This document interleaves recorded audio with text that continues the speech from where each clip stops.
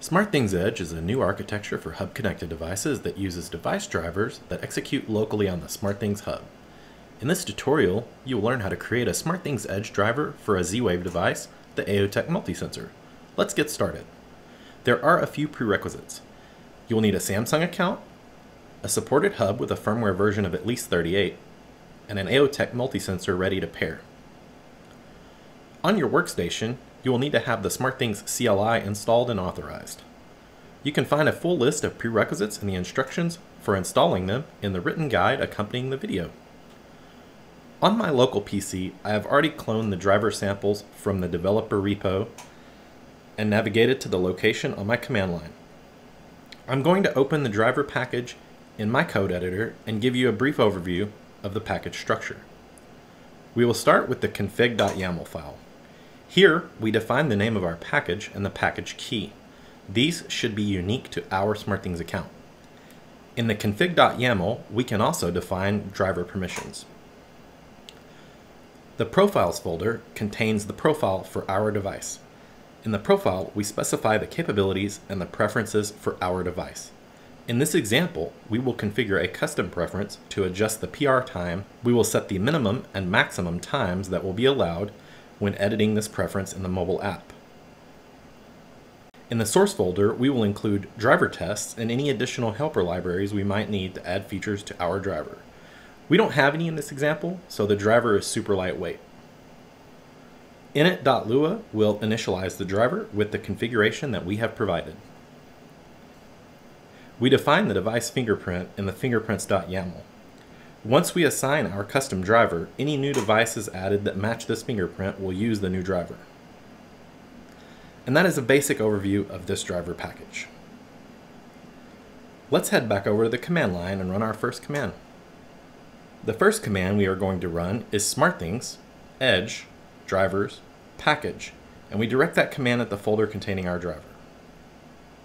If the package command is successful, it will return a driver ID, a name, a package key, and a driver version.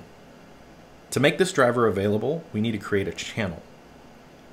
The command to create a channel is SmartThings, Edge, Channels, Create. A channel needs a name, a description, and a URL to the terms of service.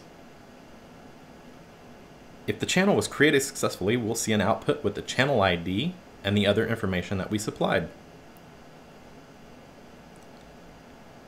Once our channel is created, we need to enroll the hub into that channel. We run the command SmartThings, Edge, Channels, Enroll. We select the channel to enroll our hub into.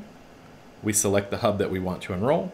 And if successful, we will see that our hub ID was enrolled into that channel ID. Now we can assign our driver to the channel. We use the command SmartThings, Edge, Channels, Assign.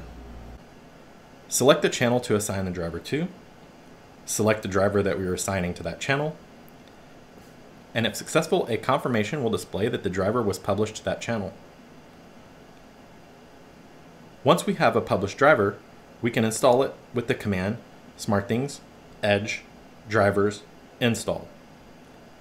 Select the hub to install the driver to, and select the channel that we want to install it from. Now that the driver is on our hub, we can run the logging command and pair the device. The logging command is smartthings, edge, drivers, logcat. The logging command takes an IP address. There are instructions for finding the hub's IP address in the guide accompanying this video. Once we have logging started, we can switch over to the mobile app and pair the device.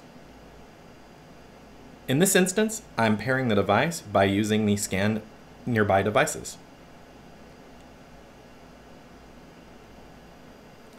I'm going to follow the instructions in my mobile app for pairing the multi-sensor device.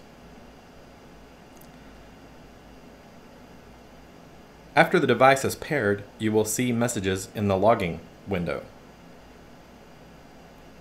These messages contain information about what is happening during the pairing process and inclusion into the hub. As long as we don't see any errors, we should be good to go. Now we can go back to the SmartThings app and find the device that we just paired.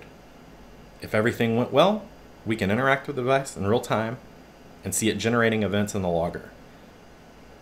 Now, this is just a brief introduction to getting started with SmartThings Edge and Z Wave devices. There is so much more that we can do with Edge. Head on over to the community at community.smartthings.com. In the future, we'll be sharing more of what is possible with Edge, including LAN integrations and other surprises. Let us know what you can do with SmartThings Edge in the community.